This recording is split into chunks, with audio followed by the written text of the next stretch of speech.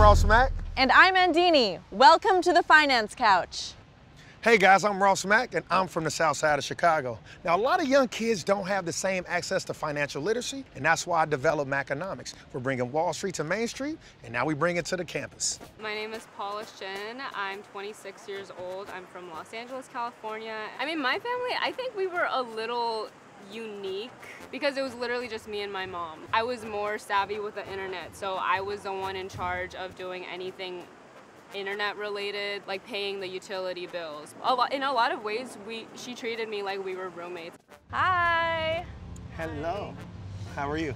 Hi, I'm good. I'm Paula. Nice to meet you. Nice to meet you. So I get my scholarship money once per semester, but how can I make it last? You just gotta ask yourself, what are your expenses every month? Well, the main thing is going to be rent if you're living off of campus. And how much is rent? The average I'd say is about a thousand per month. So here's what I would do. Say you get, you know, $10,000 a semester. What is a semester? What, like four months? The idea for me would be to divide it by each month. Okay, say you got $2,500 a month. Now you want to start budgeting and understanding every month, this is how much I could afford to spend on groceries, on dining out, going to parties and traveling. And then another thing I would think about is also understanding what all your goals are for that semester. So say you want to go on a big spring break trip, but you still got the same $10,000 that got to last. So rather than that last month, you know, you only got $2,500, but it, that's how much it actually costs for the travel and the hotel, what I would do is actually start pulling back different money from other months just to ensure that you have enough money for that actual month of traveling. But when it's all said and done, budgeting, budgeting, budgeting, and then understanding what your goals are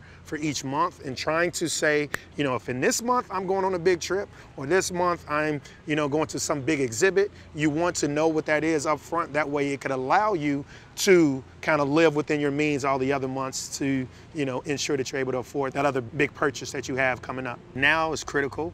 You're learning, you know, the type of things that you're probably gonna wanna apply for the rest of your life, and that's literally how to budget. Honestly, it gave me a lot to think about. Thank you. In my friend group and socioeconomic group, I think that we're very comfortable talking about money because a lot of friendship activities cost money. So when we say like we can't do this because it's gonna cost too much, like no one's gonna be like, oh my god, like you, you hate me, you don't wanna hang out with me, you don't wanna go on this trip with me because you can't afford it.